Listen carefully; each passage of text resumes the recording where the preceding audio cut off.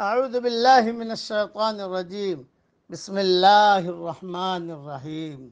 سورة حجرات کی ایک آیت پڑھ رہا ہوں. يا أيها الذين آمنوا إن جاءكم فاسق بنبأ فتبينوا فتبينوا أن تصيبوا قوما بجهالة فتصبحوا على ما فعلتم نادمين اے مسلمانوں اگر تمہیں کوئی فاسق خبر دے، تو تم اس کی اچھی طرح تحقیق کر لیا کرو۔ ایسا نہ ہو کہ نادانی میں کسی قوم کو ایزا پہنچا دو، پھر اپنے کیے پر پشیمانی اٹھاؤ۔ یہ سورہ حجرات کی آیت ہے۔ اور اس میں سورہ حجرات میں اللہ جل جلالہ امن والہ نے کچھ اصول بیان کیے ہیں کہ معاشرہ کیسے خوشگوار بنتا ہے۔ اس میں سورہ حجرات کی تعلیم ہے۔ سنتے جائیے آپ۔ نمبر ایک، فتبینو، خبر کی خوب تحقیق کر لیا کرو۔ نمبر دو، فاصلحو، مسلمانوں کے درمیان صلح کراؤ۔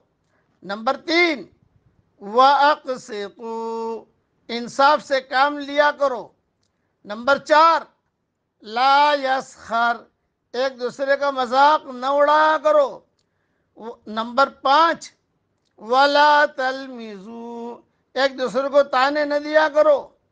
نمبر چھ، ولا تنا تنابزو بالالقاب ایک دوسرے کو برے القاب سے نہ پکارو۔ نمبر سات، لا یغتب ایک دوسرے کی قیمت نہ کرو۔ نمبر آٹھ، لا تجسسو کسی کے ٹوہ میں نہ لگو۔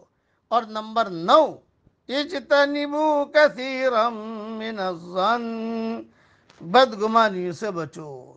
بس یہ نو چیزیں ہیں سورہ حجرات میں جو میں نے اس کی مختصر تفصیل بیان کر دی۔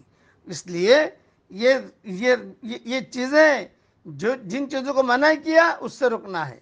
جو جس کرنے کا کہا، اسے کرنا ہے۔ یہ بہت اہم مضمون ہے سورہ حجرات کا۔ ایک ہی صورت کے اندر اللہ جل جلال امن والہ نے یہ مضمون بیان کیا ہے۔ اس لیے ہمیشہ یاد رکھیے کہ کسی ایک تو کبھی کسی کی غیبت مت کرو، کسی کا مذاق نہ اڑاؤ، اس طریقے سے کسی کے ساتھ بدگمانی نہ کرو۔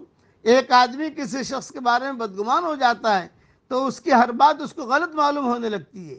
اس کے بارے میں اس کا ذہن منفی رخ پر چل پڑتا ہے، اس کی خوبیوں سے زیادہ وہ اس کے عیوب تلاش کرنے لگتا ہے۔